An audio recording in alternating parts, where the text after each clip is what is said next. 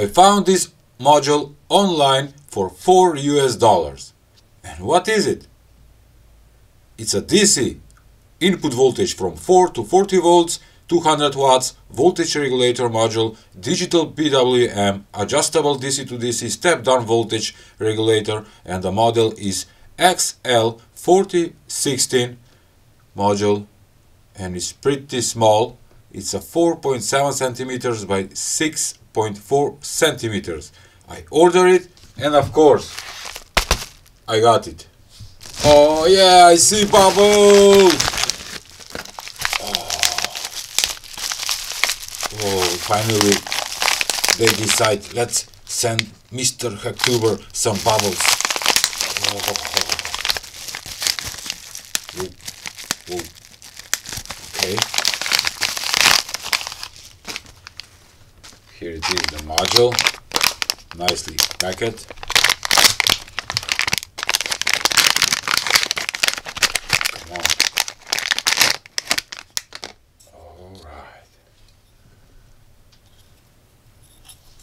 okay and the model is XL4016 some of you comment how I fix the noisy solar turntable that make some weird noises and I have add some electronic grease to the gears. That was the solution and believe me right now it's working perfect.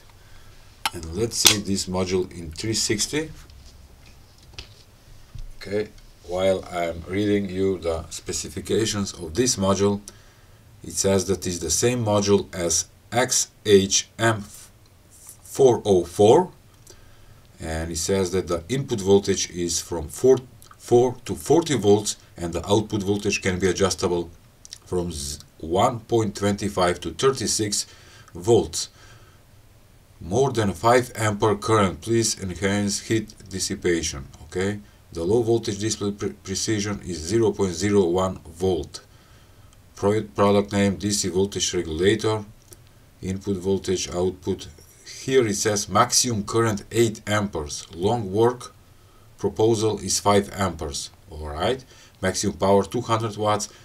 Efficiency 94% and switching frequency 180 kilohertz. Nice.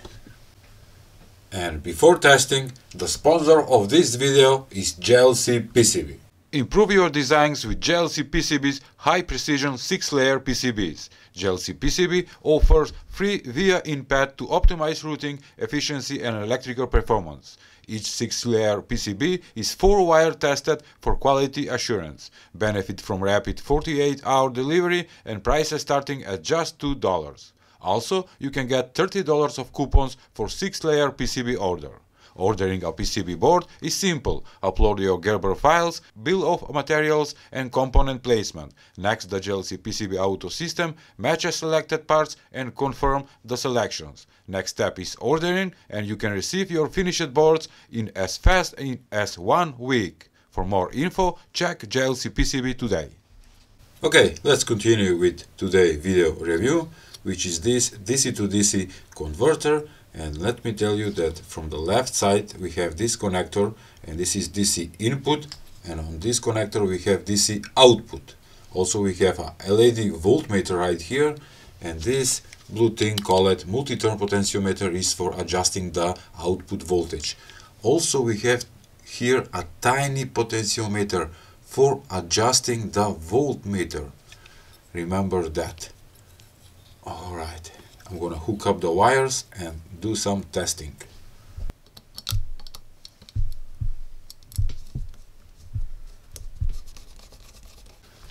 I have placed some input and output wires and right now I'm gonna connect the input and will send 12 volts set on my power supply in 3, 2, 1.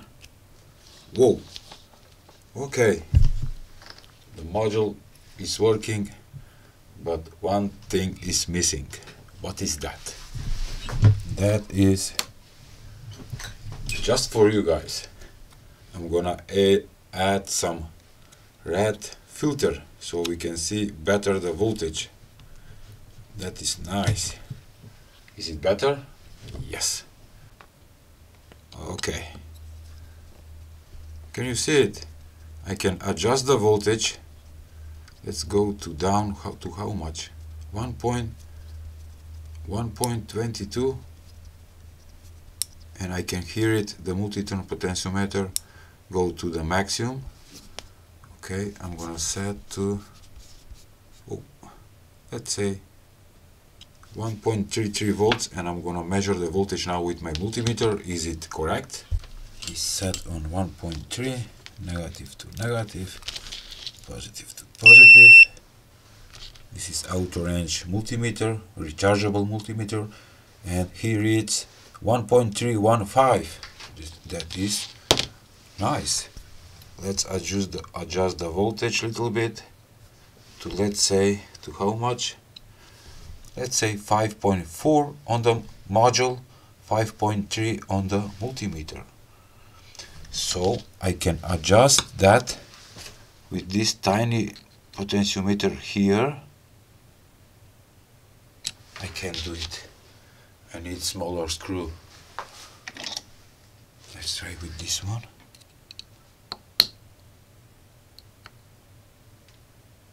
Yes I can adjust it. Let's say to to show 5.3 3435 it's okay now let's adjust the output